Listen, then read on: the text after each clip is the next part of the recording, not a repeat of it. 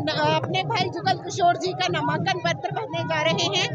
आप देख रहे हैं सारी जनता हर्षोल्लास के साथ अपने अभिव्यक्ति करते हुए मोदी के हाथ मज़बूत कर रहे हैं।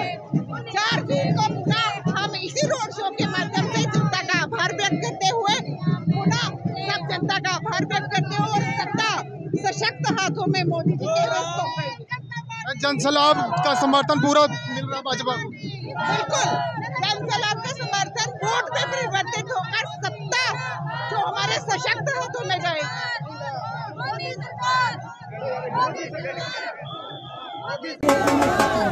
इतनी